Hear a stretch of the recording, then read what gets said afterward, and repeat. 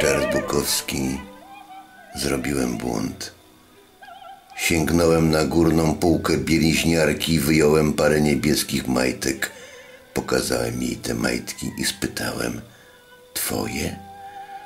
A ona spojrzała i mówi: Nie, to jakieś suki. Potem wyszła i odtąd jej nie widziałem. Nie ma jej w jej mieszkaniu, ciągle tam chodzę, wtykam w drzwi karteczki.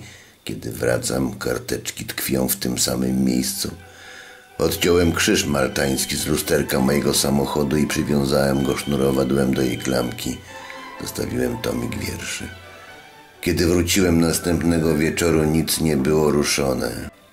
Ciągle szukam na ulicach tego krwisto-czerwonego krążownika, którym jeździ, wozu ze słabym akumulatorem i drzwiczkami zwisającymi z połamanych zawiasów. Jeżdżę po ulicach bliski płaczu, wstydząc się swojego sentymentalizmu, a może i miłości.